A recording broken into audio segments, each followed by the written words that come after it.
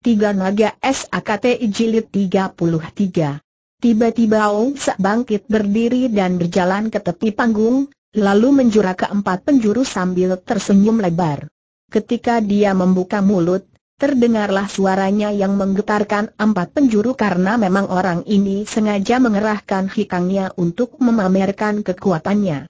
Dan memang hebat sekali suara itu, menggetar dan seolah-olah dapat menembus dada menggetarkan jantung sehingga banyak sekali kaum kengou yang hadir terkejut bukan main dan memandang serta mendengarkan dengan penuh perhatian.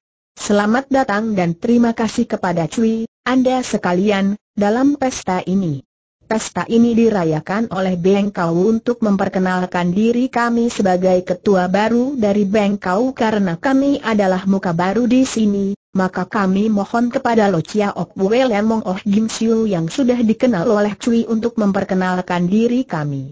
Oh Lo Chiam Pual, silakan kata Oh sambil menjura ke arah Lemong. Kakek tinggi kurus ini tersenyum dan bangkit dari kuisinya, terus melangkah menghampiri Oh dia hanya mengangguk empat penjuru dengan sikap angkuh, sikap seorang datuk yang ditakuti. Cui tentu mengenal siapa aku katanya dengan suaranya yang paruh namun terdengar mengguntur. Hendaknya Cui ketahui bahwa ketua bengkau baru ini adalah Pek Chiang Chin Jin O Biarpun dia ini baru muncul, namun sungguh dia patut sekali menjadi ketua bengkau, karena aku dapat memastikan bahwa ilmu kepandaiannya amat tinggi sehingga mengagumkan aku orang tua ini. Sekian agar Cui maklum kakek itu mengangguk dan kembali ke kursinya.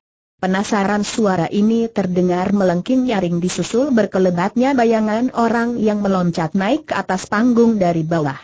Sian Lun, Ling Ling, dan Ginsan memandang dengan kaget. Mereka tahu bahwa dari Kaila.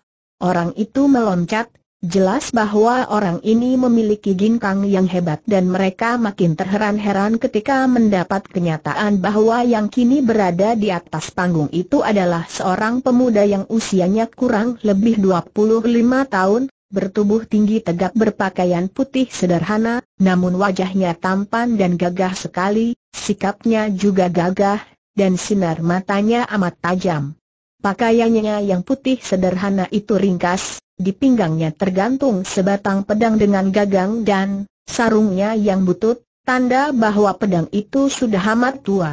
Onsa juga memandang dengan mata terbelalak, akan tetapi sebagai seorang ketua tentu saja dia tidak bersikap lancang, melainkan tersenyum dan berkata, agaknya si Chu mempunyai suatu urusan untuk dibicarakan. Silakan dan dia pun lalu duduk kembali dengan sikap angkuh, yang dianggapnya patut menjadi sikap seorang ketua besar dan membiarkan orang muda yang tampan dan gagah itu untuk bicara tanpa menentangnya. Pemuda itu sejenak memandang kepada Ousek, lalu memandang ke arah Lemong, kemudian berkata dengan suara lantang sehingga terdengar oleh semua orang yang berkumpul di sekitar panggung itu. Suara ini bukanlah seperti suara Ousek tadi yang memamerkan kekuatan hikangnya, akan tetapi suara biasa saja yang amat nyaring karena kekuatan batin yang bersih terkandung dalam suara itu, suara seorang yang berjiwa gagah sebagai seorang pendekar sejati. Aku bernama Lo Chin Hon, datang dari Nan, Ping, aku adalah seorang murid Xiao Limpai yang datang ke sini mengikuti jejak seorang penjahat yang melarikan gadis orang dengan paksa. Jejak itu membawaku ke sini dan kebetulan sekali karena aku adalah sangat baik dari ketua Bengkau, yaitu Kuan Liok Long Hiong. Aku tahu bahwa Bengkau adalah perkumpulan yang bersih dari orang-orang gagah, semenjak dipimpin oleh mendiang Bu Heng Lo Lo Siampul. Akan tetapi setelah aku tiba di sini menyaksikan pertemuan atau pesta ini, aku melihat dua hal yang amat membuat hatiku menjadi penasaran dan yang memaksaku untuk turun tangan suasana menjadi hening dan tegang setelah pemuda yang mengaku murid Xiao Lim Pai ini bicara seperti itu. Semua orang tahu bahwa Xiao Lim Pai adalah sebuah perkumpulan besar yang memiliki banyak ahli, ahli silat yang amat pandai. Bahkan boleh dibilang bahwa ilmu-ilmu silat sebagian besar bersumber kepada ilmu silat asli dari Xiao Limpai. Maka munculnya pemuda yang mengaku murid Xiao Limpai ini sudah mengejutkan, karena tiap orang murid Xiao Limpai tentu seorang yang gagah perkasa, seorang pendekar sejati. Apalagi kini pemuda itu agaknya menentang ketua baru, maka semua orang merasa tegang hatinya. Juga Xian Lun, Ling Ling, dan Ginsan memandang dengan kaget dan juga kagum. Apalagi Ling Ling. Gadis ini merasa betapa jantungnya berdebar tegang secara luar biasa begitu dia melihat pemuda tampan gagah dengan pakaian sederhana itu berdiri di atas panggung itu dengan sikap sedemikian berani dan gagahnya. Dia merasa seolah-olah melihat bayangan orang gagah perkasa yang hanya muncul dalam dunia impiannya. Betapa gagahnya, betapa beraninya pemuda itu muncul dan menentang orang-orang seperti Ousa dan Bu Xiao Kim, belum lagi orang-orang yang tentu amat pandai seperti Lemong dan lain-lain itu. Padahal pemuda itu hanya sendirian saja. Seketika timbul rasa kagum dan sukanya dan darah ini sudah mengambil keputusan Uniuk membantu pemuda itu. Padahal dia belum tahu apa yang menyebabkan pemuda itu bersikap menentang Sek seperti itu. Ong Sek bersikap tenang saja, bahkan masih tersenyum. Jelas bahwa dia memandang rendah kepada pemuda itu. Tentu saja dia pun tahu bahwa Xiao Limpai adalah sebuah perkumpulan yang tidak boleh dipandang rendah, memiliki tokoh-tokoh yang amat sakti akan tetapi pemuda yang usianya paling banyak separuhnya itu, memiliki kepandaian apakah? Pula, dia berada di pusat bengkau di mana dia menjadi ketuanya, dan di situ hadir pula sahabatnya, Lemong Oh Gim Siu yang memiliki kepandaian tinggi pula, sejajar dengan kepandaiannya. Takut apakah? Orang muda Silong, kami sedang mengadakan pesta perayaan, engkau adalah seorang tamu, baik diundang maupun tidak. Mengapa sikap dan ucapanmu seperti hendak mengacau dan memusuhi kami biarpun kata-katanya itu bernada teguran, namun masih terdengar manis karena memang Ong yang cerdik itu hendak memancing rasa suka para tamu dan menimpakan kesan buruk kepada pemuda itu. Dan dia memang berhasil.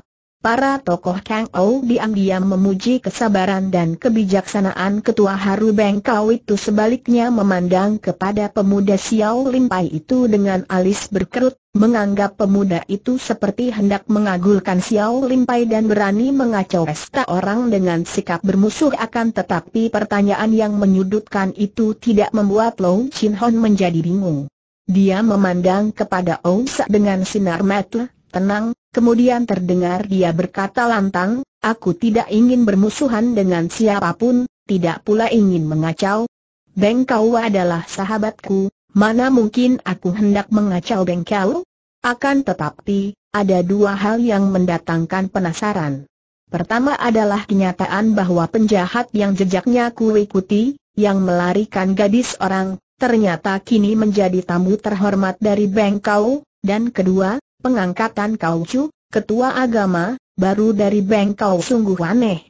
Mengapa ketua lama, yaitu saudara Kuan Liok tidak hadir, demikian pula dua orang sutenya yang kesemuanya merupakan murid-murid terkasih dari mendiang Bu Heng Lo Chu? Pula, aku mendengar bahwa ketua yang diangkat sekarang ini telah menyebabkan tuasnya Bu Heng. Locu Locian Pual, bahkan membunuh pula lima penasihat terhormat dari Bengkau Lo Chin Hon engkau benar sombong dan lancang Lo Sak membentak. Kini tidak dapat menahan kemarahannya karena pemuda ini begitu berani memburukan namanya di depan orang-orang Kang Ou dan menceritakan tentang perbuatannya yang lalu itu. Dia sudah bangkit berdiri dan mukanya berubah merah. Coba katakan, Siapa penjahat yang kau bilang menjadi tamu kehormatan itu Ong Sak memang cerdik sekali. Karena mengingat bahwa pemuda itu adalah murid Xiao Limpai sehingga amat tidak baik kalau sampai dia sendiri saja yang menentangnya, yang berarti tentu menimbulkan ketidakkenakan dengan Xiao Limpai. Oleh karena itu, dia sengaja memancing agar pemuda itu menyebutkan nama penjahat yang dikatakannya menjadi tamunya itu karena dia sendiri pun tidak tahu siapa orang yang dimaksudkan oleh Lo Chin Hon agar orang itu dapat dibikin malu dan tentu akan memusuhi pula pemuda ini sehingga dia dapat cuci tangan dan biarkan orang lain yang menghukum pemuda lancang ini. Ditanya begini, Pemuda itu lalu menudingkan telunjuknya ke arah kakek tua tinggi kurus yang duduk di samping Ou Se. Dialah orangnya. Ya, agar semua orang Kang Ou mengetahui bahwa penjahat yang melarikan gadis orang itu bukan lain adalah Lemong Oh Gim Siu yang terkenal sebagai datuk di selatan sejenak sunyi sekali di situ karena semua orang menahan napas, kemudian disusul oleh suara bisik-bisik yang menimbulkan suasana gaduh. Semua orang terkejut dan khawatir sekali akan kelancangan pemuda ini. Bukan saja Rani menentang ketua bengkau yang baru, akan tetapi bahkan pemuda ini secara terang-terangan memaki Lemong sebagai penjahat yang melarikan gadis orang. Benar-benar, seorang pemuda yang mencari mati sendiri. Tentu saja semua orang yang hadir tidak menjadi heran dan tidak merasa aneh mendengar bahwa Lem Ong telah melarikan gadis orang. Datuk kaum sesat di selatan ini selain terkenal sebagai seorang yang memiliki kepandaian tinggi, juga memiliki kekayaan besar, dia terkenal pula sebagai seorang kakek tua bangka yang amat lemah terhadap wanita sehingga selain dia mempunyai puluhan orang selir, dia masih saja haus dan rakus kalau melihat wanita cantik di luaran. Dengan kepandaiannya dan dengan hartanya, apabila dia melihat wanita cantik, tidak peduli istri orang atau anak siapa pun, tentu akan didapatkannya wanita itu.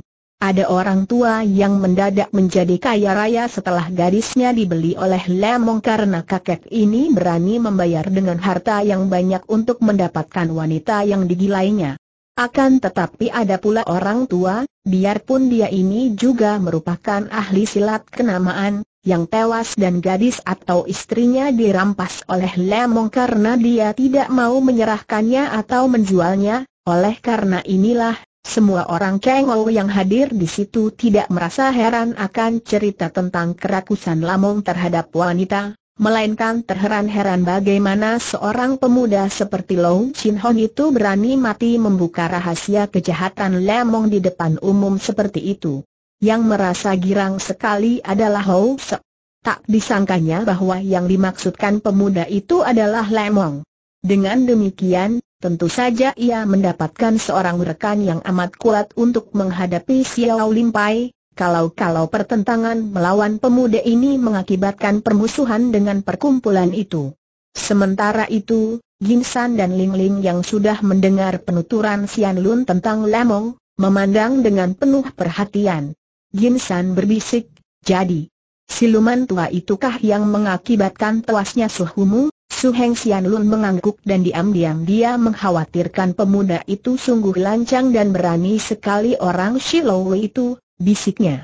Kita harus membantunya tanda seru tiba-tiba terdengar Ling Ling berbisik dan di dalam suaranya terkandung suatu kepastian yang membuat kedua orang subengnya menengok dan memandang Sumoi itu. Mereka berdua melihat Ling Ling tengah memandang kepada orang Shiloh itu dengan penuh kagum.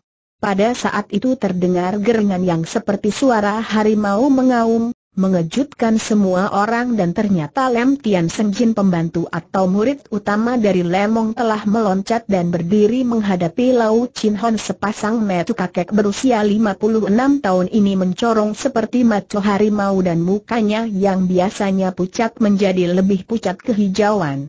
Lau Chin Hon yang merupakan seorang pemuda yang sudah banyak merantau di dunia Kang dapat menduga siapa adanya kakek ini. Dia sudah mendengar bahwa Lemong selalu ditemani oleh muridnya atau pembantunya, yang setia, yang terkenal dengan nama Lem Tian Senjin. Dan sebagai seorang pemuda yang pernah digembleng dalam ilmu-ilmu silat yang tinggi, melihat wajah yang pucat kehijauan dengan sepasang metu yang mencorong dan gerengan seperti harimau itu tadi taulah dia bahwa kakek ini adalah seorang ahli wekang atau orang yang memiliki tenaga dalam amat kuatnya maka dia pun tidak berani memandang rendah dan bersikap tenang namun waspada. Lo Chin Hon adalah adalah seorang murid tingkat tinggi dari Xiao Lim Pai, dan biarpun usianya baru 25 tahun akan tetapi dia telah lulus sebagai murid kelas 3, tingkat yang cukup tinggi dan mengagumkan yang dapat dicapai oleh seorang muda seperti dia dalam perguruan Xiao Lim Pai. Dia seorang pemuda yang sudah yatim piatu dan semenjak kecil dia dirawat oleh para Hosio Xiao Lim Si di kota Nanping. Akan tetapi karena para Hosio melihat bahwa dia tidak berbakat menjadi Hosio, melainkan lebih berbakat menjadi pendekar, maka Chin Hon menerima gemblengan ilmu silat, lebih banyak daripada gemblengan ilmu agama dan ilmu sastra. Akhirnya, dia menjadi seorang tokoh Xiao Lim Pai, yang patut dibanggakan oleh Xiao Lim Pai, karena sepak terjangnya sebagai seorang pendekar yang gagah perkasa dan budiman. Ketika pemuda perkasa ini sedang melakukan perjalanan tak jauh dari Telaga Poyang, dia mendengar akan malapetaka yang menimpa keluarga Fang Piao Su, seorang sahabatnya, Piao Su, pengawal barang, terkenal yang tinggal di kota Kankou, Sahabatnya itu terluka dan putri sahabatnya itu, seorang gadis berusia 17 tahun, telah dilarikan orang. Fang Piao Su tidak mengenai siapa penculik gadisnya, hanya menceritakan bahwa malam itu ada bayangan berkelebat dan disusul jeritan gadisnya, akan tetapi bayangan penjahat itu lihai bukan main karena dalam beberapa jurus saja dia telah roboh dan penjahat itu melarikan gadisnya menghilang di tempat gelap. Dia hanya tahu bahwa penjahat itu membawa sebatang kuncue yang diselipkan di pinggang. Mendengar malapetaka ini, Chin Han segera melakukan pengejaran. Dia mencari jejak penjahat itu dan akhirnya, jauh dari kota Kankou, setelah melalui perjalanan tiga hari tiga malam dan sudah mendekati Telaga Poyang. Dia menemukan gadis Shifang itu dalam keadaan menggantung diri di sebuah dusun sunyi. Dari pemilik rumah dusun itu dia mendengar bahwa gadis ini datang bersama dua orang kakek dan gadis itu selalu menangis, kemudian pagi hari itu, tiba-tiba saja tanpa pamit dua orang kakek menghilang dan gadis itu telah membunuh diri dengan jalan menggantung lehernya menggunakan ikat pinggangnya. Dapat dibayangkan betapa marahnya hati Chin Hon mendengar ini dan dia mendapat kegambaran yang jelas akan wajah dua orang kakek itu dari petani dusun itu, dan setelah tiba di tempat Bengkau mengadakan pesta perayaan taulah dia bahwa hal yang memang sudah disangka-sangkanya semenjak dia mendengar dari Fang Piao Su bahwa penjahat itu mempunyai sebatang kuncue adalah benar, yaitu bahwa penjahatnya adalah Lemong, datuk kaum sesat yang terkenal matu keranjang itu. Maka dengan berani dia lalu tampil ke depan dan membongkar rahasia kakek cabul itu. Selain ini, dia juga merasa curiga akan tampilnya ketua baru Bengkau. Dia bersahabat baik dengan Kuan Liok, ketua Bengkau dan sudah mendengar dari Kuan Liok akan kematian empat NG saudara-saudara seperguruannya, bahkan akan kematian Bu Heng Lo Chu sebagai akibat pengacauan murid murtad yang bernama Owisek. Dan kini, melihat Oh Sik tahu-tahu menjadi ketua, dan kawannya itu tidak nampak hadir, demikian pula dua orang sute dari Kuan Liok, tentu saja dia menjadi penasaran dan dia kemukakan pula hal itu. Kini, Lam Tian Senjin sudah berdiri menghadapi Chin Hon yang bersikap tenang kakek ini merupakan murid dan pembantu Lemong yang amat setia. Dia sendiri tidak mempunyai kesukaan mengganggu wanita, bahkan biarpun usianya sudah 56 tahun, dia tidak menikah akan tetapi karena setianya dan amat memuja gurunya, dia tidak pernah menentang kebiasaan gurunya membujuk atau memaksa wanita itu, bahkan siap untuk membantu gurunya andai kata Lemong menyuruhnya menculik wanita sekalipun. Maka begitu mendengar gurunya dimaki oleh orang muda itu, dia tidak dapat menahan kemarahannya dan sudah menggereng dan menghampiri Chin Han. Bocah Silong, engkau sudah bosan hidup? Mari kuantar engkau ke neraka bentaknya. Chin Han tersenyum mengejek. Hem, bukankah engkau ini Lem Tian Senjin? Gurumu telah melakukan perbuatan hina dan sesat, dan aku sebagai orang muda memperingatkan dia, engkau sebagai muridnya hendak membela gurumu yang sesat besar mulut kau kakek itu membentak dan dia sudah menggerakkan tubuhnya dan tangan kirinya menyambar ke depan, menampar ke arah kepala pemuda Xiao Limpai itu. Chin Hon merasa betapa ada hawa panas sekali menyambar ke arah mukanya. Dia tahu bahwa kakek ini memiliki sinkang yang amat kuat, dan bahwa pukulan itu mengandung tenaga sinkang panas, maka cepat dia melangkah mundur mengelak dan menggerakkan iengan dari samping untuk menangkis. Duk lengannya dapat menangkis lengan lawan dan Lam Tian Senjin merasa betapa lengannya itu tergetar hebat. Terkejutlah dia dan baru dia tahu bahwa pemuda ini bukanlah semacam gentong kosong yang hanya nyaring suaranya namun tidak ada isinya. Pemuda ini bersikap amat beraninya karena memang telah menguasai kepandaian Xiao Limpai yang terkenal. Dari pertemuan tenaga tadi saja Lem Tian Senjin sudah dapat mengetahui bahwa pemuda Xiao Limpai ini ternyata memiliki tenaga yang kuat. Padahal dia tadi melakukan pukulan dengan ilmu Lui Kong Chiang, tangan geledek, yang amat kuat, namun pemuda itu mampu menangkisnya. Marah dan penasaranlah kakek ini dan dia lalu menerjang dan menyerang seperti angin badai mengamuk. Chin Hon bergerak dengan tenang dan mantap, Mainkan ilmu silat Lohon Kun yang amat tenang dan tangguh dari Xiao Lim, sehingga ke mana pun pihak lawan menyerang, dia selalu dapat mengelak dan menangkisnya, juga membalas dengan pukulan-pukulan yang mengeluarkan angin yang bersiutan saking kerasnya. Xian Lun pernah menandingi Lem Tian Senjin dan tahu bahwa kakek ini amat lihai. Akan tetapi menyaksikan pemuda gagah itu yang demikian tenang dan mantap, diam-diam dia kagum juga. Pemuda itu benar-benar memiliki dasar ilmu silat yang asli dan bersih, setiap gerakannya tidak menyia-nyiakan tenaga, karena setiap gerakan ada artinya, kalau tidak menjaga diri tentu menyerang, bukan seperti ilmu-ilmu silat lain yang terlalu banyak kembangannya sehingga banyak membuang tenaga hanya untuk pamer belaka. Ling Ling diam-diam khawatir dan terkejut melihat bahwa kakek itu ternyata lihai sekali, gerakannya demikian cepat dan serangan-serangannya mengandung kekuatan sinkang yang besar sedangkan pemuda itu baginya terasa terlalu tenang dan lamban, maka darah ini sudah menegang seluruh syarafnya, siap untuk melindungi pemuda gagah itu apabila dia melihat ada bahaya mengancam. Gin San juga menonton dengan tenang-tenang saja dan sejak tadi dia memandang ke arah Oh Sek. Diam-diam menduga-duga bagaimana akan jadinya kalau dia dan Oh Sek sudah bertanding. Dia tahu bahwa kepandaian Oh Sek tinggi sekali, dan bahwa segala ilmu yang didapatnya dari Mati Sing akan sia-sia saja kalau dipergunakan untuk menyerang Oh Sek karena semua telah dikenal oleh orang itu, kecuali Cap Satong Tian.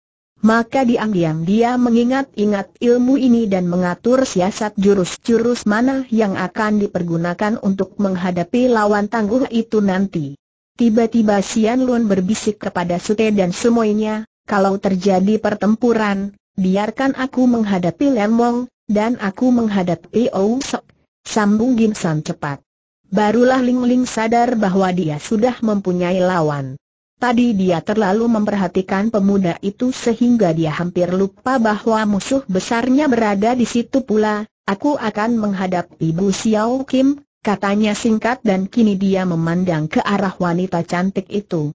Akan tetapi hanya sebentar karena kembali dia mengalihkan pandang matanya ke atas panggung di mana pemuda Xiao Limpai itu masih bertanding seru melawan Lam Tian Senjin. Pertempuran antara Chin Hon dan Lam Tian Seng Jin memang amat seru dan menegangkan, keduanya mempunyai tenaga yang seimbang dan kalau ilmu silat dan gerakan Lam Tian Seng Jin kasar dan cepat, adalah sebaliknya dengan gerakan Chin Hon yang halus dan tenang, mantap dan kelihatan lambat namun semua lubang telah tertutup sehingga sukar bagi lawan untuk menembus benteng pertahanannya. Chin Hon maklum bahwa lawannya amat pandai dan hal ini tidak mengejutkan hatinya. Dia sudah mendengar akan kelihayan Lam Tian Seng Jin, apalagi kesaktian Lemong. Kalau dia tadi berani tampil ke depan menentang mereka bukan karena terdorong kelancangan atau kesombongannya, bukan memandang rendah Loen, melainkan terdorong oleh jiwa kependekarannya yang pantang mundur menghadapi siapa pun juga untuk menentang kejahatan. Dia pun maklum bahwa keselamatannya terancam, namun mati bukan apa-apa bagi seorang pendekar, kalau kematian itu terjadi dalam membela keadilan dan kebenaran, menentang kejahatan. Semua tamu yang terdiri dari orang-orang Kengoo itu tentu saja merasa tegang dan juga girang bahwa mereka disuguhi tontonan yang amat menarik bagi mereka yang rata-rata memiliki kepandaian amat tinggi itu. Tidak ada seorang pun di antara para tamu, berani mencampuri perselisihan yang diteruskan dengan perkelahian itu. Mereka semua mengenal siapa adanya Lem Tian Seng Jin murid Lemong dan tidak seorang pun berani mencampuri urusan Lemong yang selain kaya raya dan sakti, juga terkenal mempunyai banyak sekali anak buah dan terkenal pula bertangan besi atau kejam terhadap musuh yang berani menentangnya. Akan tetapi mereka itu juga segan untuk bermusuhan dengan pemuda perkasa murid tangguh dari Xiao Limpai itu, karena nama Xiao Limpai sudah membuat mereka lebih suka menjauhkan diri, terutama sekali mereka yang tergolong kaum sesat. Bagi Xian Lun bertiga, kini mereka tidak merasa khawatir. Mereka tentu saja berpihak kepada pemuda Xiao Limpai itu dan dengan pengetahuan mereka yang mendalam tentang ilmu silat, mereka dapat melihat jelas bahwa pemuda perkasa itu tidak akan kalah. Biarpun kelihatan Lam Tian Senjin bergerak sangat cepat sebaliknya pemuda itu kelihatan tenang saja, namun sesungguhnya kakek itu tak mampu berbuat banyak dan kini setiap serangan balasan dari Chin Hon membuat dia terdesak hebat. Kakek itu mulai memburu napasnya, sedangkan pemuda itu masih segar, bahkan gerakan, gerakannya kini makin mantap dan kuat. Hal ini tentu saja dapat dilihat pula oleh Lam, Ong, juga oleh Hong Sa dan Bu Xiao Kim. Lemong mengerutkan alisnya yang amat tebal itu dan matanya yang sipit menjadi makin sipit lagi, hampir terpejam, alisnya bergerak-gerak dan makin sering dia menghembuskan asap dari huncuinya. Sian Lun tak pernah melepaskan perhatiannya terhadap si Hun Chue Maut yang kini berjuluk Lemong ini. Dan apa yang dikhawatirkannya pun terjadilah. Lemong tiba-tiba bangkit berdiri dan sekali kakinya bergerak, dia sudah melayang ke depan, Hun di mulutnya ditiup dan sinar api meluncur dari Hun itu, bunga api beterbangan menyembur ke arah Chin Han. Sian Lun berseru keras, akan tetapi dia kalah dulu oleh Ling Ling yang sudah melayang seperti seekor naga terbang, dan dari atas dia langsung menerjang dengan kedua kakinya menendang ke arah metu dan leher Lemong. Mulutnya membentak nyaring sekali. Tua bangka curang pengecut tak tahu malu. Lemong terkejut bukan main menyaksikan gerakan ginkang yang demikian ringan dan cepatnya, maka dia tidak melanjutkan serangannya kepada Chin Hon, melainkan menggerakkan huncuinya menotok ke arah betis darah cantik yang menendangnya dari atas itu. Ling Ling juga kaget bukan main. Serangan tendangannya dari atas tadi dilakukannya dengan cepat sekali dan jarang ada orang mampu mengelak dan menyelamatkan diri. Akan tetapi kakek ini bukan hanya dapat menghindar, bahkan memapaki serangannya itu dengan serangan lain, yaitu totokan ke arah betis kakinya. Maka dia pun berseru keras, kedua kakinya mengelak dan tahu-tahu ujung kakinya memapaki kepala Hun Chue dan dengan meminjam tenaga lawan dia mengenjot dan tubuhnya sudah berjungkir balik membuat salto tiga kali di udara. Sumoy, mundurlah terdengar bentakan Sian Lun dan pemuda ini sudah meloncat dan tahu-tahu sudah berada di depan Lemong sehingga kakek ini tidak dapat mendesak Ling Ling yang melajang turun ke atas panggung dengan indahnya. Sementara itu, Chin Han tadi terkejut setengah mati melihat bunga api beterbangan seperti kunang-kunang menyambarnya dan terasa amat panas. Dia segera melempar tubuhnya ke belakang dan terus menjatuhkan diri bergulingan sehingga terbebas dari serangan bunga api yang amat lihai itu. Ketika dia melihat bayangan seorang darah yang terbang dan menyerang Lemong, Chin Hon terkejut dan kagum bukan main karena dia mengenal ginkang yang luar biasa sekali. Di Xiao Lin si hanya para Lo Pui yang sedikitnya bertingkat dua saja yang akan mampu membuat gerakan ginkang seperti yang dilakukan darah itu. Ketika darah itu membuat salto di udara, hampir dia berseru karena kagumnya, dan ketika akhirnya Ling Ling melayang turun dan hinggap di atas panggung, tak jauh dari tempat dia berdiri, dia makin kagum dan bahkan terpesona karena tidak pernah disangkanya bahwa bayangan yang luar biasa itu ternyata adalah seorang darah remaja yang demikian cantik jelitanya. Dia memandang, tepat pada saat Ling Ling juga memandangnya. Dua pasang metu yang bersinar tajam bertemu, bertaut dan melekat, Kemudian Ling Ling menundukkan mukanya yang menjadi kemerahan Chin Hon cepat menjura dan berkata halus, Nona, terima kasih atas pertolonganmu. Ling Ling mengangkat muka dan tersenyum, kemudian melihat Sian Lun telah berhadapan dengan Lemong, dia lalu meloncat turun lagi di tempatnya yang tadi.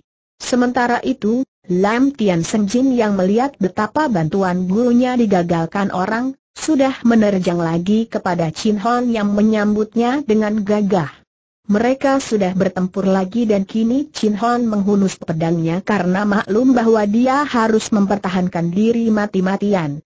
Pedang tua di pinggangnya itu ternyata hanya buruk gagang dan sarungnya saja, karena begitu dicabut nampaklah cahaya berkilauan, tanda bahwa mata pedang itu tajam sekali.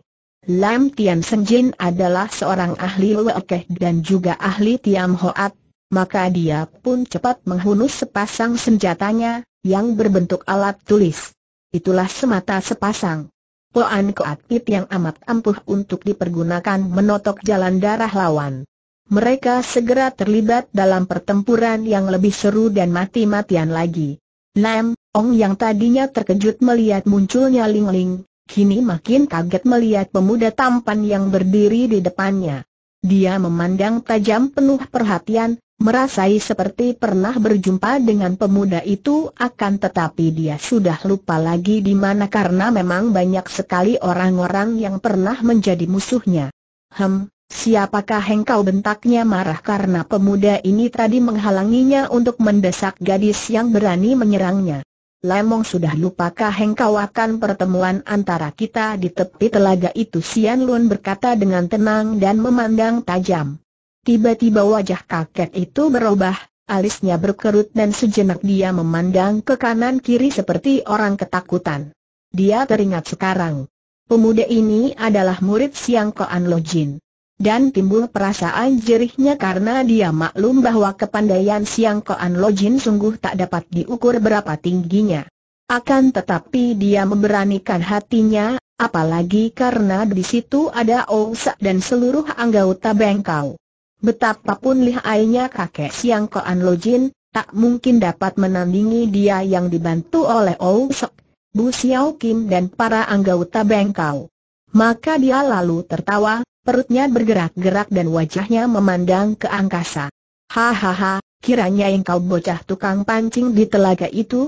Mana suhumu? Kalau memang dia datang, suruh dia lekas keluar tantangnya, sebenarnya bukan tantangan melainkan pancingan untuk meyakinkan hatinya apakah benar kakek yang amat lihai itu ikut datang bersama muridnya ini. Sian Lun adalah seorang pemuda yang gagah perkasa dan jujur, maka mendengar ucapan itu dia berkata, aku datang sendiri untuk membuat perhitungan denganmu, lemong kakek itu tertawa makin keras, hatinya girang bukan main. Sementara itu, Sa dan Bu Xiao Kim tentu saja mengenal pemuda itu dan juga Ling Ling yang tadi menyerang Lemong, maka keduanya cepat bangkit dan maju menghampiri, siap untuk membantu Lemong. Akan tetapi baru saja Ousa muncul dari bawah panggung berkelebat bayangan orang dan tahu-tahu di situ sudah berdiri Chow Gin San menghadapi Ousa sambil memandang tajam dengan sikap marah. Melihat pemuda ini, Ousa terbelalak, lalu tertawa bergelak. Aha, kiranya ada tikus kecil ini yang datang mengirim nyawa bagus sekali dan kembali bayangan Ling Ling melayang naik, lalu menyambar turun ke bawah dan di depan Bu Xiao Kim. Siluman betina, sekarang jangan harap engkau akan dapat lolos dari tanganku bentak Ling Ling kepada Bu Xiao Kim. Musuh sudah berhadapan dengan musuh. Maka mereka itu tidak mau banyak cakap lagi dan segera masing-masing bergerak dengan cepat nampak senjata-senjata tajam berkilauan ketika Ginsan dan Ling Ling sudah mencabut pedang mereka, pedang kekuasaan pemberian kaisar. Lihat pedang kami ini Ginsan yang cerdik membentak kepada semua orang Kengou yang berada di situ. Ini adalah dua pedang hadiah kaisar, pedang kekuasaan dan siapa menentang kami berarti menentang kaisar. Kami datang untuk menangkap atau membunuh Pek Chiang Chin Jin Ousa dan Bu Xiao Kim, dua orang yang baru saja melarikan diri dari kota raja setelah mereka membantu pemberontakan orang-orang Tibet. Ousa ini adalah pemberontak, pelarian, dan juga murid murtad dari Bengkau. Tanda petik. Di antara para orang Kengou itu ada yang mengenal pedang kekuasaan seperti itu, maka tentu saja mereka merasa gentar dan semua orang makin tidak berani mencampuri urusan antara Lemong, Bengkau, Xiao Limpai dan orang-orang yang mempunyai pedang kekuasaan dari kaisar itu. Choa Ginsan bocah ingusan yang sombong.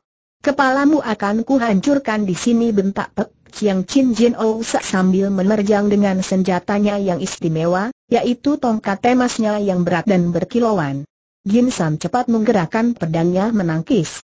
Keringat nampak bunga api berpijar. Pedang pemberian kaisar itu tentu saja bukan pedang sembarangan, melainkan senjata tanda kekuasaan yang terbuat dari baja asli yang terpilih. Maka kedua orang seperguruan ini sudah mulai bertanding dengan amat bebatnya. Di samping pedangnya di tangan kanan, Ginsan juga mencabut suling bambunya dan menggunakan sulingnya itu untuk kadang, kadang menyelingi serangan pedangnya dengan totokan-totokan maut biarpun senjata itu hanya suling bambu, akan tetapi karena digerakkan dengan pengerahan sinkang, maka bahayanya tidak lebih kecil dan pada senjata pedang di tangan. Ousak memaklumi hal ini, maka dia pun tidak berani berlaku lengah, mengimbangi serangan pemuda itu dengan sepenuh tenaganya sehingga lenyaplah bayangan kedua orang tokoh tinggi Bengkau ini, terbungkus sinar-sinar berkilauan dari tongkat emas, suling bambu, dan pedang. Sian Lun juga sudah bergebrak melawan Lemong yang lihai itu. Lemong tadinya memandang rendah dan dengan sikap sombong sekali dan menyemburkan asap huncuinya ke arah pemuda itu. Sian Lun sudah tahu akan kelihayan semburan asap yang didorong oleh tenaga hikang yang kuat itu, akan tetapi dia pun sudah tahu bagaimana caranya menghindarkan diri. Dia meniru perbuatan mendiang gurunya. Ketika diserang asap yaitu mengerahkan hikang dan meniup ke arah asap itu. Ketika asap membuyar, dia sudah meloncat ke samping dan mengirim totokan dengan tangan kiri ke arah pelipis lawan sedangkan tangan kanannya mencengkeram ke arah pusar. Serangan ini bukan main hebatnya sehingga mengejutkan hati Lemong yang tadinya masih memandang rendah. Dia berseru keras dan melangkah mundur sambil memutar huncuinya. Kini dia tidak berani main-main lagi lalu memutar huncuinya cepat-cepat untuk menyerang Sian Lun dan kadang-kadang tangan kirinya melakukan pukulan-pukulan dan tamparan-tamparan yang luar biasa dahsyatnya. Sian Lun sudah mengenal pukulan tangan kiri yang mengandung ilmu peksi ciang yang luar biasa ampuhnya itu. Pengalamannya ketika dia menghadapi kakek ini, kemudian penuturan mendiang gurunya, telah membuat dia waspada dan diakini meniru siasat gurunya ketika menghadapi dan pernah mengalahkan kakek ini, yaitu mengandalkan ginkangnya. Dia tahu bahwa pukulan Peksi Chiang lawan itu sama sekali tidak boleh dilawan dengan kekerasan, dan bahwa satu-satunya keunggulan yang dimiliki terhadap kakek Raja Selatan ini hanyalah ginkang atau kecepatan gerakan. Maka dia pun segera mengerahkan ginkangnya dan berkelebatan menandingi musuh besar yang amat tangguh ini. Pertandingan antara Bu Xiao Kim dan Ling Ling juga amat seru dan mati-matian. Harus diakui oleh Bu Xiao Kim bahwa menghadapi darah perkasa ini, dia benar-benar kalah tingkat dan segera dia telah didesaknya dengan hebat. Ling Ling juga mempergunakan pedang hadiah kaisar itu seperti Ginsan dan dengan pedang di tangan, Ling Ling terus menekan dan mendesak karena dalam hal ginkang dia jauh menang. Bu Xiao Kim mempertahankan diri sedapat mungkin dengan mengandalkan sabuk hitamnya dan kadang-kadang tangan kirinya melancarkan pukulan Tian Lui Sin Chiang. Namun, semua itu sia-sia saja karena Ling Ling bergerak sedemikian cepatnya sehingga kadang-kadang seperti lenyap dari pandang mata Bu Xiao Kim dan tahu-tahu darah itu menyerangnya dari belakang. Hal ini membuat Bu Xiao Kim berputar-putar dan menjadi pening. Di dekat tempat di mana dua orang wanita ini bertempur mati-matian. Chin Han juga terus mendesak lawannya, yaitu Lem Tian Seng Jin yang kini menjadi makin gentar karena gurunya sudah menemui lawan, demikian pula pihak tuan rumah, dan ternyata bahwa semua lawan yang masih muda itu amat lihai. Dengan nekat dia menggerakkan sepasang poan keanpit, berusaha untuk menghalau pedang lawan. Akan tetapi, ilmu pedang yang dimainkan Chin Hon adalah ilmu pedang Xiao Lim Kiam Sut yang amat kokoh kuat bagaikan gelombang samudera di waktu menyerang, dan bagaikan bukit karang di waktu bertahan, maka makin lama Lem Tian Seng Jin makin terengah-engah kehabisan napas dan tenaga. Anehnya, Chin Hon dan Ling Ling selalu saling memperhatikan dan mereka berdua merasa lega bahwa masing-masing dapat mendesak lawan. Dan pada saat Lam Tian Senjin terhuyung karena desakan Chin Hon, tiba-tiba sekali Ling Ling meloncat ke samping dan secara tak terduga-duga mengirim tendangan. Das tendangan itu cepat dan tepat sekali mengenai paha Lam Tian Senjin. Kakek itu mengeluh dan terhuyung, hampir roboh, didesak terus oleh Chin Hon, sementara itu Ling Ling sudah memutar pedang mendepak Bu Xiao Kim dengan hebat pula. Terima kasih, Nona Chin Hon masih sempat berseru karena merasa dibantu oleh darah yang telah menjatuhkan hatinya itu. Ling Ling hanya tersenyum girang saja melanjutkan desakannya terhadap Bu Xiao Kim. Tiba-tiba Lem Tian Senjin mengeluarkan teriakan melengking tiga kali. Ini merupakan tanda bagi anak buahnya. Memang, ke mana pun Lemong pergi, tentu dia dikawal oleh serombongan anak buahnya yang merupakan tukang-tukang pukulnya. Ketika dia menjadi tamu di bengkau, dia tidak ingin anak buahnya menimbulkan keributan, maka anak buahnya itu disuruh menanti di bagian lain di tepi telaga, menerima hidangan-hidangan tersendiri dan boleh berpesta sendiri. Kini, begitu mendengar suara tanda rahasia dari Lam Tian Seng Jin, mereka terkejut, cepat berkumpul dan berlarian menuju ke tempat pesta yang kini menjadi tempat pertempuran itu. Dan tak lama kemudian setelah Lam Tian Senjin mengeluarkan teriakan melengking tadi, semua orang mendengar suara nyanyian yang terdengar parau nyaring, datang dari dalam hutan di sebelah. Makin lama suara ini makin terdengar nyata dan tak lama kemudian muncullah sedikitnya 30 orang dengan senjata lengkap di tangan, berbaris rapi dan sikap mereka mengancam. Inilah rombongan anak buah Lemong yang berupa tukang-tukang pukul, Orang-orang kasar yang biasa melakukan apa saja yang diperintahkan Lemong, dan sudah biasa mempergunakan kekerasan untuk menindas pihak yang lemah. Suara itu sebenarnya bukan nyanyian, melainkan suara orang berirama seperti membaca sajak. Siapakah yang menguasai dunia selatan? Siapakah yang merajai laut selatan? Semua telaga, sungai dan lautan berikut semua isinya, milik siapa begitu pertanyaan-pertanyaan itu berhenti 30 orang lebih itu menjawab dengan serentak, suara mereka bergemuruh, lemong tanda seru.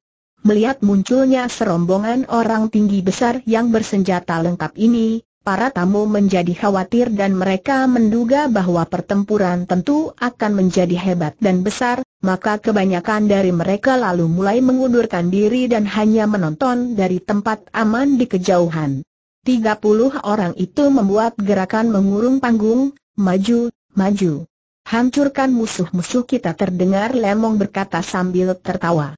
Biarpun dia belum sempat terdesak oleh lawannya yang muda, akan tetapi dia mendapat kenyataan bahwa murid dari Siang Koan Lojin ini benar-benar amat liai, dan juga teman-teman lawannya, Dara dan pemuda itu memiliki gerakan-gerakan yang amat tangkas. Maka timbul pula kekhawatirannya dan hatinya girang bahwa pembantunya atau muridnya telah memanggil anak buahnya untuk membantu. Akan tetapi pada saat itu, dari arah bangunan-bangunan pusat bengkau, bermunculan serombongan orang yang dipimpin oleh tiga orang dan mereka ini berjumlah hampir seratus orang yang langsung mengurung tempat itu dengan sikap mengancam. Seorang di antara tiga orang pemimpin itu berseru dengan suara lantang, Orang-orang luar harap jangan mencampuri urusan Bengkau Wong saat terkejut bukan main ketika mengenal bahwa mereka itu adalah anak buah Bengkau, dan yang memimpin adalah Kuan Liok.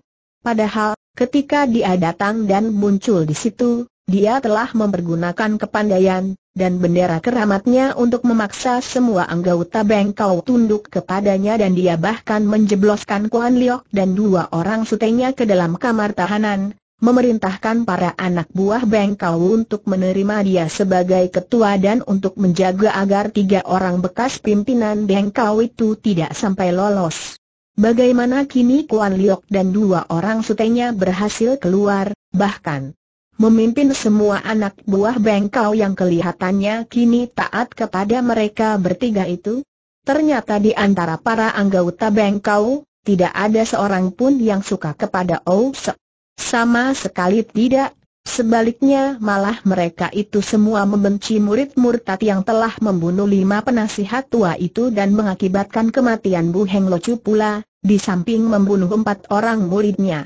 Akan tetapi karena mereka maklum akan kelihayan Ungsek, dan terutama sekali karena betapapun juga kenyataannya menunjukkan bahwa Ungsek menguasai bendera keramat maka terpaksa mereka tidak berani membantah ketika orang ini datang dan menguasai bengkau, memenjarakan Kuan Liok dan dua orang sutenya, lalu mengangkat diri sendiri menjadi ketua bengkau yang baru.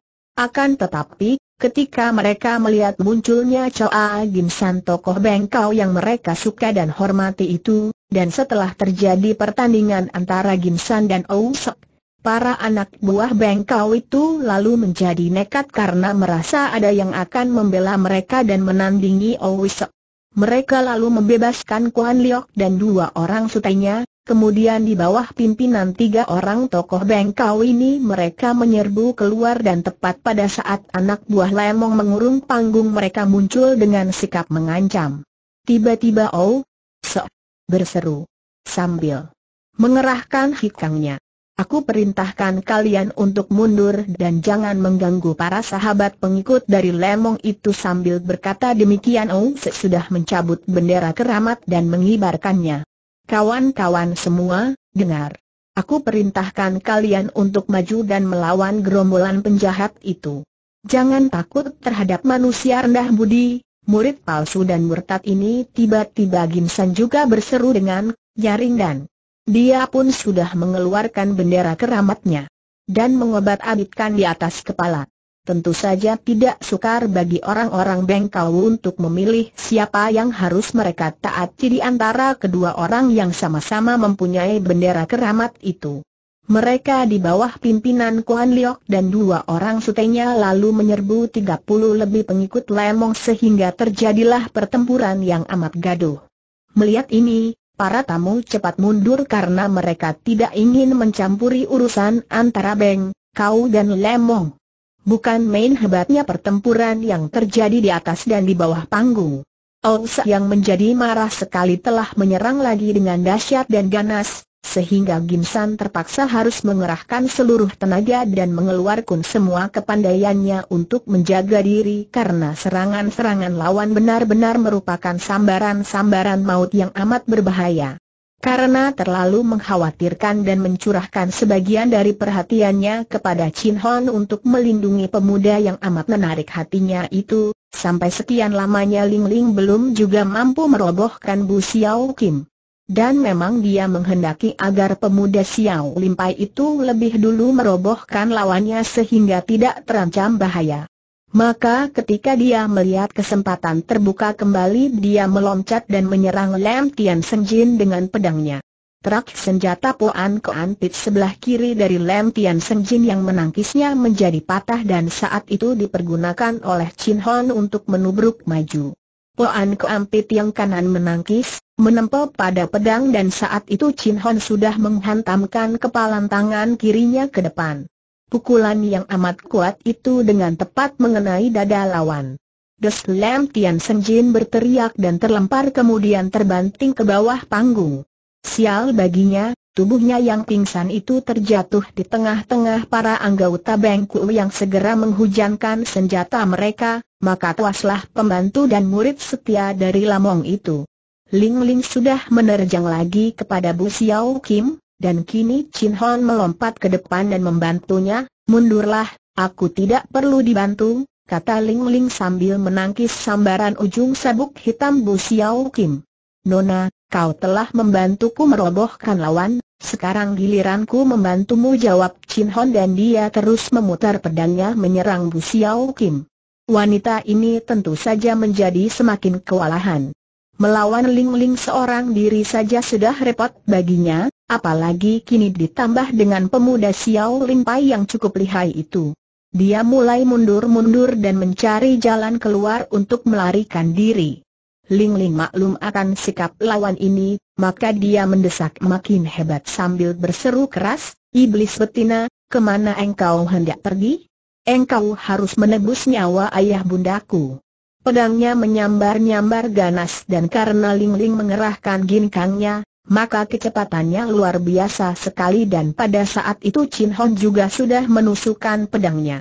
Ih Bu Xiao Kim mengeluh karena repot sekali dan tiba-tiba tangan kirinya bergerak dan nampak sinar merah menyambar ke depan. Itulah sapu tangan merah beracun yang telah dikenal oleh Ling Ling. Awas sapu tangan beracun teriak Ling Ling memperingatkan Chin Hon. Pemuda itu kaget dan sudah melangkah mundur, sedangkan Ling Ling memutar pedangnya. Terdengar kain robek dan sapu tangan merah itu hancur berkeping-keping terkena sambaran sinar pedang Ling Ling. Orang muda tampan, lihatlah baik-baik, tegakkah engkau menyerang seorang wanita yang lemah tak berdaya tiba-tiba terdengar suara Bu Xiao Kim halus setengah terisak. Suara itu demikian halus mengharukan, menimbulkan rasa iba dan Chin Hon sudah menarik kembali pedangnya dan melangkah mundur, berdiri bengong karena dia telah terpengaruh kekuatan sihir yang dipergunakan oleh Bu Xiao Kim.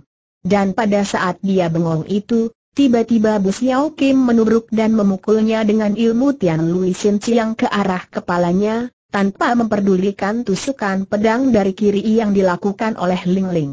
Ini adalah siasat dari wanita cantik itu. Dia sudah melihat dengan matanya yang penuh pengalaman bahwa di antara kedua orang muda itu terdapati daya tarik yang membuat mereka saling melindungi, daya tarik yang dapat menjadi permulaan cinta asmara. Oleh karena itu, dia tidak memperdulikan tusukan Ling Ling dan lebih dulu menghantam kepala Chin Hon karena dia yakin bahwa Ling Ling tidak akan mendiamkan saja pemuda itu terpukul mati. Perhitungannya memang tepat. Melihat betapa Chin Hon bengong saja dan sama sekali tidak mengelak maupun menangkis ketika Bu Xiao Kim menghantam, Ling Ling terkejut bukan main. Cepat dia menarik kembali pedangnya dan dengan ginkangnya yang luar biasa, dia mendahului Bu Xiao Kim, menubruk ke depan dan mendorong tubuh Chin Hon ke samping. Plak tamparan dengan ilmu Tian Lui Sin Chiang dari Bu Xiao Kim itu tidak mengenai kepala Chin Hon yang sudah terpelanting oleh dorongan Ling Ling, akan tetapi mengenai pundak Ling Ling sehingga darah ini terdorong dan terhuyung dengan muka pucat. Nona Chin Hon berseru kaget, akan tetapi Ling Ling hanya merasa sedikit nyeri pada pundaknya yang telah dilindunginya dengan sinkang, dan hanya bajunya di bagian pundak saja yang terobek. Dengan marah dia lalu menerjang lagi kepada Bu Xiao Kim, dan Chin Hon juga membantunya dengan putaran pedangnya. Sekali ini Bu Xiao Kim yang sudah pening dan lelah itu tidak mampu mengelak atau menghindarkan diri dari kedua pedang itu. Biarpun dia sudah memutar sabuk hitamnya, namun tetap saja dari bawah nampak sinar berkelebat dan pedang di tangan Ling Ling menyambar dan memasuki perutnya. Bu Xiao Kim menjerit mengerikan dan roboh terjengkang, kedua tangan mendekap perut karena ketika pedang dicabut kembali, darahnya mengucur dan muncrat dari luka di perut yang ditembusi pedang sampai ke punggung tadi. Kau pergilah menghadap ayah bunda Kulingling berseru dengan suara terisak dan dia mengirim tusukan lagi yang menembus dada Bu Xiao Kim. Kembali Bu Xiao Kim menjerit dan roboh terpelanting, tewas seketika. Sejenak Ling Ling berdiri dengan air mata bercucuran karena girang dan juga berduka, teringat akan kedua orang tuanya yang tewas oleh wanita itu. Nona. Chin Hon mendekati dan memanggil halus. Ling Ling sudah sadar dan menengok kemudian tersenyum dan menghapus air matanya. Suara pertempuran menyadarkannya, dan begitu dia menengok dan melihat bahwa dua orang suhengnya belum juga mampu mengalahkan lawan, dia cepat meloncat dan membantu Gimsan yang sedang bertanding melawan Ong Sa tak jauh dari situ. Dengan pedang terputar mengeluarkan cahaya berkilauan dia membantu dan karena memang serangannya itu selain kuat juga luar biasa cepatnya. Ong Sa terkejut dan cepat dia meloncat ke samping untuk menghindarkan tusukan yang datangnya amat cepat dan bertubi itu.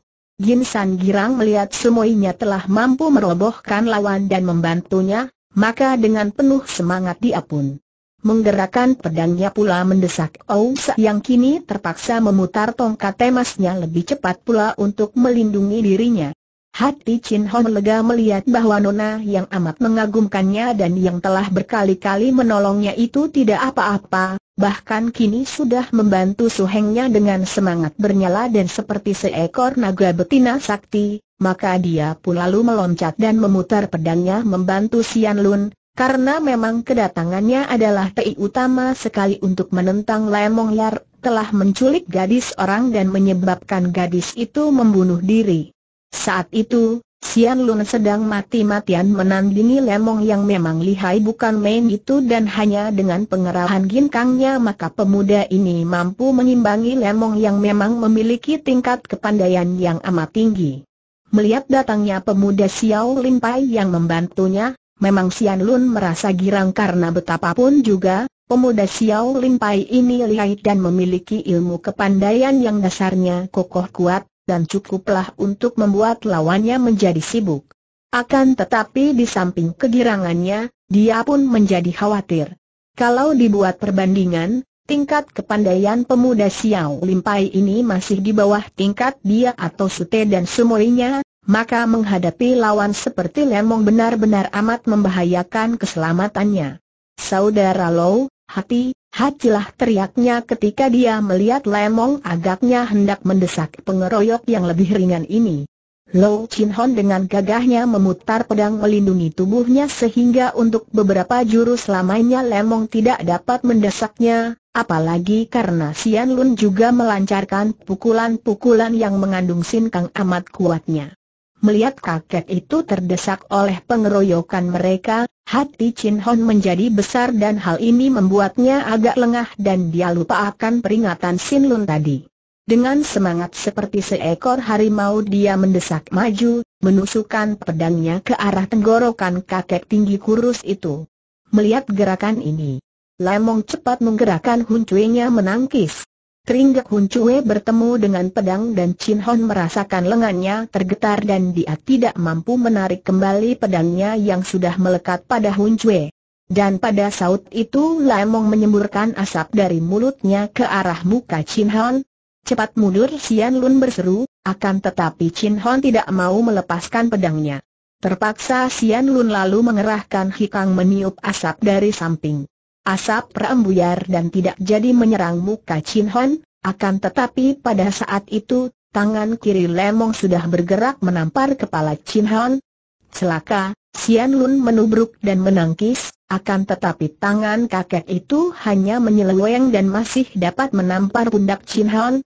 Plak tubuh Chin Hon terlempar seperti daun kering dan terbanting jatuh ke atas papan, pedangnya terlepas menancap pada papan panggung. Aih! Ling Ling berteriak kaget melihat ini dan dia sudah meloncat mendekati tubuh yang rebah terlentang itu, meninggalkan Ginsan menghadapi Ou sendirian saja. Melihat tubuh itu lemas lunglai dan wajah yang tampan gagah itu pucat seperti mayat, Ling Ling menjadi cemas sekali dan tanpa memperdulikan apa-apa karena dia sendiri lupa akan sikapnya yang tidak wajar ini, dia sudah menjatuhkan diri berlutut di dekat tubuh itu. Cepat dia meraba dada dan nadi, membuka pelupuk mata yang terpejam itu dan hatinya merasa lega. Pemuda ini tidak mati, hanya pingsan dan mengalami luka di sebelah dalam tubuhnya. Marahlah Ling Ling. Setelah mengangkat tubuh Chin Hon dan menaruhnya di sudut panggung, di tempat taman, dia lalu mengeluarkan suara melengking nyaring dan tubuhnya sudah meloncat seperti seekor burung walet meluncur dan tahu-tahu dia sudah menyerang Lemong Kalang Kabut dengan amat dahsyatnya. Sumoy, tenanglah Sian Lun memperingatkan karena Carol menyerang seganas itu biarpun amat berbahaya bagi lawan, namun juga membahayakan diri sendiri. Kini Lamong benar-benar kewalahan. Dia menang kuat dalam sintang, menang pengalaman dan menang matang gerakan silatnya, akan tetapi dalam hal kecepatan, dia kalah jauh dan memang inilah kelemahannya. Menghadapi Sian Lun, dia sudah merasa sulit menang karena dia kalah cepat, apalagi kini ditambah Ling Ling yang lebih cepat lagi gerakannya. Betapapun juga, Memang kakek ini merupakan datuk besar dunia selatan dan ilmu kepandaiannya sudah hebat sekali sehingga biarpun terus didepak, dia masih mampu mempertahankan diri dengan huncuenya, sungguh pun sekali ini dia harus mengeluarkan seluruh kepandaiannya dan mengerahkan seluruh tenaganya sementara itu, para pengikut Lemong mulai kocar kacir terdesak oleh orang-orang bengkau yang jauh lebih besar jumlahnya itu.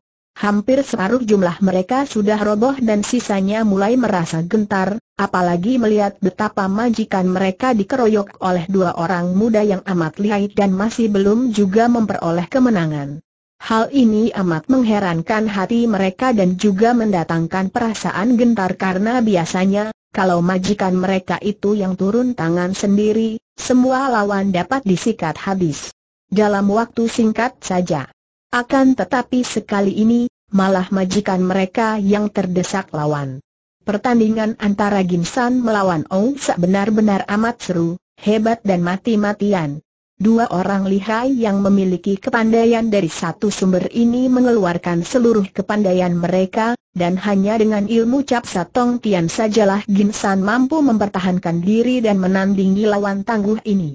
Ilmu silat lainnya selain telah dikenal oleh lawan, juga dia malah masih kalah setingkat, kalah latihan sehingga gerakan-gerakannya kalah matang. Akan tetapi menghadapi Cap Satong Tian yang gerakan-gerakannya aneh luar biasa dan tidak dikenal oleh Ou Sek, membuat dia ini merasa bingung dan kadang-kadang terdesak juga. Betapapun juga, setelah mereka bertanding sampai lama, sudah tiga kali Ginsan terkena pukulan lawan, dan biarpun tongkat emas itu telah ditangkisnya dengan pedang atau suling bambu, tetap saja dua kali pundak kirinya kena diserempet sehingga pinggir bahunya atau pangkat lengan yang berdaging itu mengeluarkan darah dan satu kali paha kanannya juga kena pukulan tongkat emas.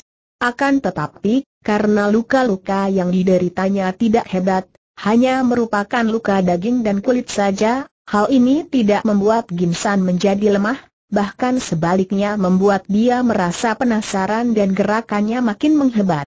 Kenekatan dan kehebatan pemuda ini membuat Oh Sek makin lama makin berkurang kepercayaannya terhadap diri sendiri dan diam-diam dia harus mengakui bahwa pemuda yang menurut kedudukan masih terhitung murid keponakannya sendiri ini benar-benar merupakan lawan yang amat tangguh dan hebat, sehingga kalau dia tidak berhati-hati, tentu dia sendiri tidak akan mampu mengalahkannya. Maka hatinya mulai menjadi gentar, apalagi melihat betapa Lemong, sahabat yang amat diandalkannya itu kini terdesak hebat oleh Sian Lun dan Ling Ling, sedangkan Lam Tian Senjin dan Bu Xiao Kim sudah tewas, dan anak buah Lam Ong juga sudah terdesak hebat oleh anak buah bengkau yang kini berbalik memusuhinya itu. Hatinya keder dan nyalinya mengecil. Kekhawatiran hebat ini pun diderita oleh Lemong Oh Gim Siu. Kakek yang sudah berpengalaman ini maklum bahwa kalau dilanjutkan, tentu dia akhirnya akan roboh juga. Usianya yang sudah amat tua membuat tenaganya tidak sepenuh dahulu, juga napasnya tidak sekuat dahulu. Kini dia mulai tengah dan tubuhnya sudah letih sekali. Apalagi melihat keadaan sahabatnya Ousek, juga tidak lebih baik daripada dirinya. Dengan hati penuh penasaran, diam-diam Lemong merasa berduka sekali. Satu kali ini nama Lemong sebagai Raja Selatan akan hancur oleh orang-orang muda ini.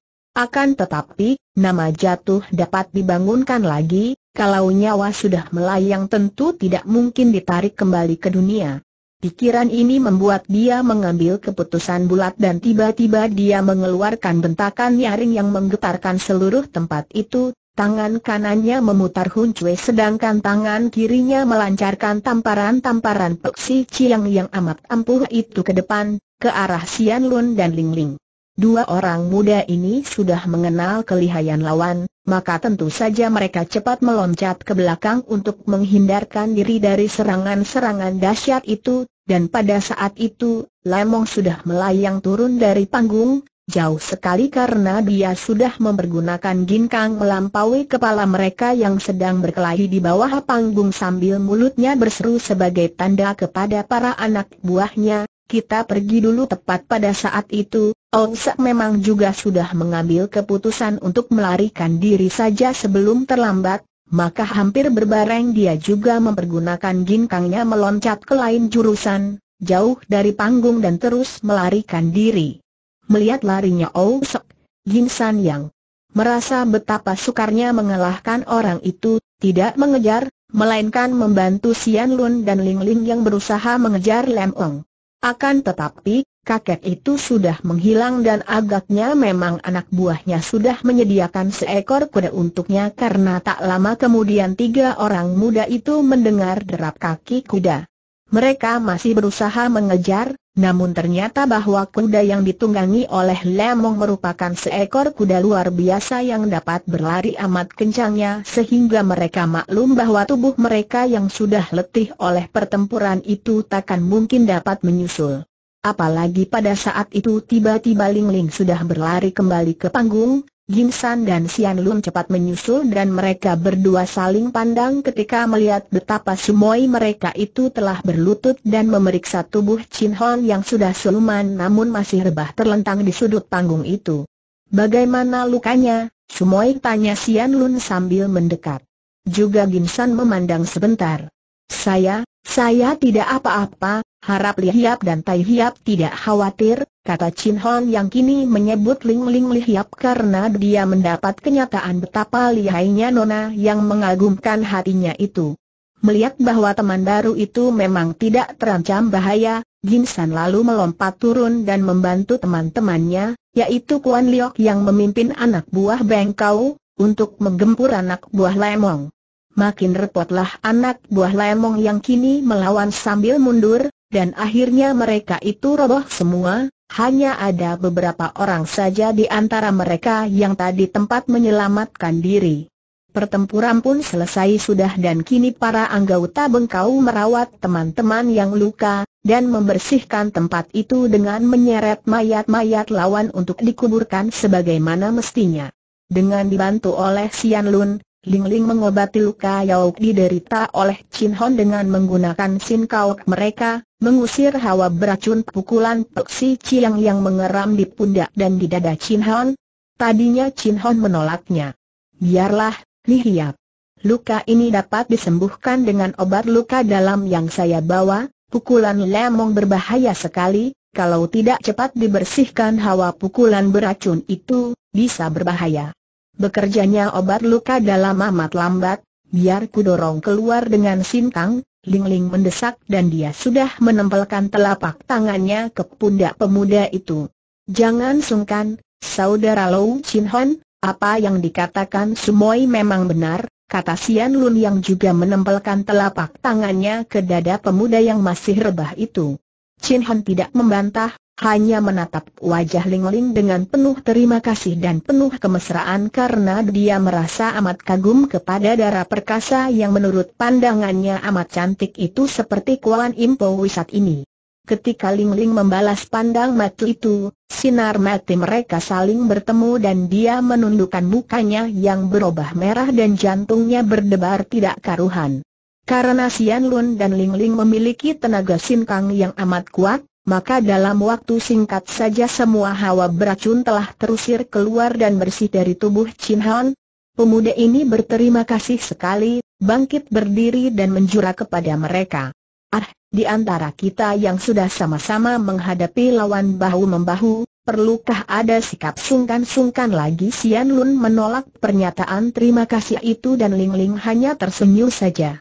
Akan tetapi ketika pemuda itu mengeluarkan bungkusan obat-obat buatan Xiao Limpai dari kantungnya, tanpa diminta Ling Ling cepat membantunya dan dengan sentuhan-sentuhan tangan yang halus mesra sehingga mengharukan hati Chin Hon, Ling Ling memasangkan koyo, yaitu obat tempel, pada pundak yang matang biru itu, kemudian darah ini mencarikan air matang untuk dipakai minum obat oleh Chin Hon yang merasa makin terharu dan berterima kasih.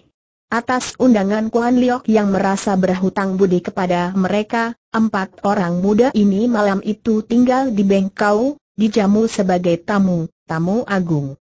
Dan dengan hati girang, Sian Lun dan Gin San melihat betapa terdapat hubungan yang makin mesra dan akrab antara pemuda Xiao Limpai itu dengan Ling Ling, dapat dilihat jelas dari gerak-gerik, pandang mata, dan suara yang keluar ketika mereka saling bicara. Diam-diam dua orang muda ini merasa bersyukur karena mereka melihat bahwa pemuda murid Xiao Lin Pai itu selain memiliki kepandaian yang cukup liai, juga memiliki kegagahan yang mengagumkan. Mereka berdua merasa senang dan setuju sekali kalau sumoi mereka berjodoh dengan seorang pemuda seperti itu. Memang terdapat daya tarik yang amat kuat antara dua orang muda, yaitu Lou Chin Hon dan Gan Ailing ini. Mereka saling merasa tertarik, apalagi ketika mereka saling mendengar bahwa masing-masing adalah seorang anak yatim piatu. Persamaan nasib ini membuat mereka makin tertarik karena perasaan itu diperkuat lagi oleh perasaan iba kasih. Dan agaknya mereka berdua pun tidak hendak menyembunyikan perasaan itu, dan senja hari itu, setelah mereka semua makan malam dijamu oleh Kuan Liok, Chin Hon dan Ling Ling berdua duduk di dalam taman dan bercakap-cakap dengan asyiknya.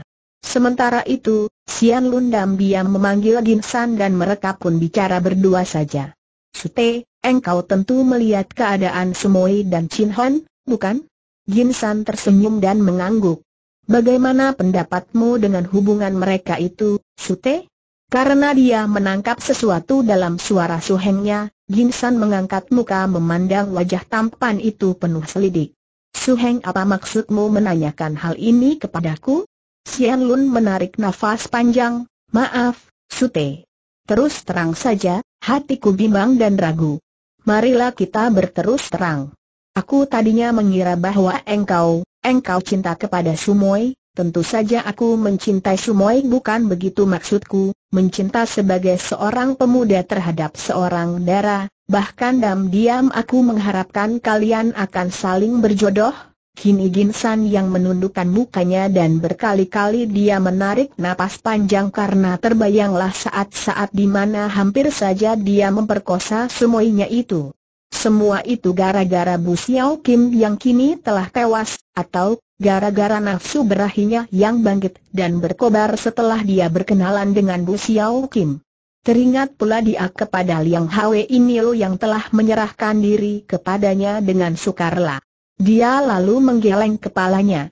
Tidak, Su Heng. Di antara Sumoy dan aku tidak ada perasaan cinta asmara seperti yang kau maksudkan itu. Maka, aku pun diam-diam merasa gembira sekali melihat hubungan antara Chin Hon dengan Sumoy, Sian Lun merasa girang sekali, dadanya tersalapang. Dia memegang lengan sutainya dan berkata, Bagus. Tadinya aku sudah khawatir sekali, Sute. Aku teringat akan riwayat orang tuaku dan orang tua Sumoy. Tanda petik. Riwayat bagaimana, Suheng? Sian Lun menggeleng kepala. Dia mendengar tentang cinta segitiga antara ayah Bunda Ling Ling dan mendiang ayahnya, Cerita yang didengarnya dari Siang Bue menurut penuturan mendiang ibu dari Siang Bue. Akan tetapi riwayat itu disimpannya dalam hati sendiri dan dia tidak mau menceritakannya kepada Ginsan yang biarpun menjadi sutenya, tetap saja merupakan orang luar. Jadi engkau juga setuju kalau Sumoy berjodoh dengan pemuda Xiao Limpai itu, Sute tentu saja, kalau memang Sumoy menghendakinya Sute, kita sebagai kakak-kakaknya berkewajiban untuk mengurus Sumoy, bukankah dia sudah yatim piatu dan adalah kewajiban kita untuk membuatnya bahagia? Dari sikapnya, aku merasa bahwa antara Sumoy dan Chin Hon terdapat hubungan kasih, dan aku akan membicarakan hal ini dengan Sumoy. Sedangkan engkau ku beri tugas untuk bicara dengan terus terang kepada Chin Hon, kalau memang keduanya sudah setuju, biarlah aku yang akan memberitahu kepada Bibi Gan Beng Lian yang merupakan satu-satunya keluarga dari Sumoy. Gin San mengangguk-angguk dan menyatakan persetujuannya, demikianlah, malam itu, dua orang pemuda ini menantikan Ling Ling dan Chin Hon yang masih asik bercakap-cakap di dalam taman. Percakapan biasa saja, saling menceritakan riwayat dan pengalaman masing-masing, seperti jamak percakapan dua orang yang baru saja berkenalan. Namun, di balik percakapan itu, suara mereka, pandang mata mereka, senyum mereka, semua mengandung getaran yang aneh, yang menjadi wakil dari hati masing-masing yang menggetarkan lagu asmara. Karena malam mulai larut dan keduanya merasa tidak enak kalau melanjutkan pertemuan di dalam taman, padahal kalau menurut perasaan hati mereka agaknya mereka tidak akan pernah merata jemu dan puas biarpun bercakap-cakap sampai semalam suntuk, Chin Hon dan Ling Ling kembali ke kamar masing-masing. Setelah tiba di dalam kamar yang disediakan oleh bengkau untuknya, Chin Han melempar tubuh ke atas pembaringan tanpa membuka pakaian dan sepatu. Rasa nyeri pundaknya ketika dia menjatuhkan diri di atas pembaringan itu tidak dihiraukannya dan dia segera terlentang dan melamun, berulang kali menarik napas panjang. Wajah dan senyum Ling Ling disertai pandang mata yang amat mesra itu tak pernah lenyap dari pandang matanya. Baru sekali ini Chin Hon merasakan keanehan ini. Dia begitu tertarik kepada Ling Ling sehingga dia sendiri merasa khawatir. Gadis itu demikian tinggi ilmunya, biarpun usianya baru 18 tahun, 7 tahun lebih muda daripadanya, namun dia seolah-olah harus mengangkat muka kalau memandang kepada darah itu. Mana mungkin seorang darah sehebat itu mau memperhatikan dia? Akan tetapi, sikap darah itu demikian manis budi, demikian mesra dan baik. Tok tok tok Chin Hon meloncat turun memandang ke arah pintu kamar itu dengan hati berdebar, harap-harap cemas. Ling Lingkah yang mengetuk pintu kamarnya. Ah, rasanya tidak mungkin. Tapi, tapi, siapakah itu? Tanyanya halus sambil menghampiri pintu, Long Tuako, ini aku Ginsan, harap buka pintu, aku ingin bicara sebentar. Ada rasa kecewa akan tetapi juga lega di dalam hati Chin Hon, Kecewa karena ternyata pengetuk pintu itu bukan Ling Ling, akan tetapi juga lega bahwa orang itu bukan Ling Ling. Karena kalau Ling Ling yang mengetuk pintu kamarnya, hal itu sungguh amat tidak patut. Cepat dibukanya pintu kamarnya dan dia melihat Choa Ginsan berdiri di depan pintu sambil tersenyum ramah, maaf kalau aku mengganggumu, Long Tuaku. Ah tidak, mari masuk, Choa Tai Hiap. Ada urusan penting apakah yang membuat Tai Hiap malam-malam datang mengunjungi kutanya Chin Hon yang merasa agak khawatir karena tentu terjadi urusan penting sekali maka pendekar ini mencarinya malam-malam. Chin San memasuki kamar pemuda itu sambil tersenyum. Ah, tidak apa-apa, tuaku, hanya aku ingin bicara denganmu, bicara mengenai diri semua tentu saja Chin Hon merasa terkejut bukan main, akan tetapi sebagai seorang gagah, dia dapat menekan perasaannya itu sungguh pun wajahnya berubah sedikit. Dan dia lalu mempersilakan tamunya duduk, Ginsan lalu duduk dan mereka duduk berhadapan, sejenak mereka saling pandang seolah-olah hendak menyelidiki keadaan masing-masing. Melihat ketenangan pemuda Xiao Lintai itu setelah dia tadi secara terus terang menyebut nama semuanya, diam-diam Ginsan merasa kagum. Begini, tuaku, kita berdua adalah orang-orang yang menghargai kegagahan, oleh karena itu ku harap engkau suka bersikap gagah dan terbuka, tidak perlu menyimpan hal-hal rahasia di dalam hati demi kebaikan kita semua. Setujukah engkau tuaku? Tentu saja Tai Hiapah, mengapa engkau begitu sungkan dan menyebutku Tai Hiap? Engkau sendiri pun seorang pendekar yang gagah perkasa, tuaku. Karena usiamu lebih tua beberapa tahun dariku, Sebaiknya kalau engkau menyebut namaku saja, jangan memakai tai hiap segala, membuatku menjadi kikuk saja, terima kasih, Coate. Sekarang katakanlah apa yang terkandung dalam hatimu. Begini, Longko, agak berat juga rasanya untuk membicarakan persoalan cinta orang lain, maka kegugupan itu nampak dalam pembukuan kata-kata Ginsan, yang selalu memakai begini, engkau tentu sudah tahu bahwa Sumoy adalah seorang anak yatim piatu, maka sudah sewajarnya lah kalau Suheng dan aku sebagai saudara-saudara tuanya mewakilinya sebagai wali dan kami harus memperhatikan keadaannya. Kami berdua melihat betapa dalam pertemuan pertama, terdapat suatu hubungan akrab dan mesra antara engkau dan Sumoy. Kalau aku boleh berlancang mulut, Agaknya di antara kalian berdua ada perasaan cinta kasih. Benarkah itu, Low Tuako tentu saja ditanya demikian. Chin Hon merasa seolah-olah dia diserang dengan pedang tajam secara langsung, membuat dia gelagapan dan mukanya berubah marah sekali, matanya terbelalak ketika dia memandang kepada Gimsan akan tetapi melihat wajah pemuda di depannya yang memiliki ilmu kepandaian amat hebat itu, wajah yang ramah dan tersenyum, dengan pandang mata lembut, Chin Han mengerti bahwa pemuda itu tidak main-main dan pertanyaan itu keluar dari hati yang sejujurnya. Wah, ini, ini, katanya gagap, akan tetapi dia lalu mengangkat dadanya dan mengambil keputusan untuk bersikap terbuka dan jujur pula, sesuai dengan sikap seorang pendekar yang menjunjung tinggi kegagahan. Terus terang saja, Choate, aku, aku memang kagum sekali kepada Gan Li Hiap, aku kagum dan tertarik, dan cinta tanda tanya.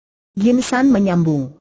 Hal itu, ah, bagaimana aku berani, akan tetapi, Chin Hon merasa bingung dan tersudut. Akan tetapi engkau tentu akan menerima dengan girang kalau dapat terikat perjodohanmu dengan Sumoy, bukan? Tentu saja. Demikian, aku akan berbohong kalau menyangkal itu. Akan tetapi, sungguh aku tidak berani selancang itu, karena tidak mungkin kiranya dia, dia, mau kepada seorang bodoh seperti aku, Chin San mengangguk-angguk. Benar ucapan suhengnya. Memang pemuda ini baik sekali dan agaknya tidak akan keliru pilihan semuanya. Tentu saja kalau benar dugaan dia dan suhengnya bahwa semua mereka itu mencinta pemuda Xiao Limpai ini. Lo Pako, terus terang saja, aku dan Suheng melihat keakraban hubungan antara kalian, oleh karena itu aku ditugaskan untuk menemuimu dan melakukan pendekatan dan bicara secara terbuka denganmu. Pada saat ini juga, Suheng sedang bertanya kepada Sumoy, dan kalau memang benar seperti yang kami duga, dan Sumoy juga jatuh cinta kepadamu, kami berdualah yang akan berusaha untuk mengikatkan jodoh itu, tentu saja lewat saluran kekeluargaan yang wajar.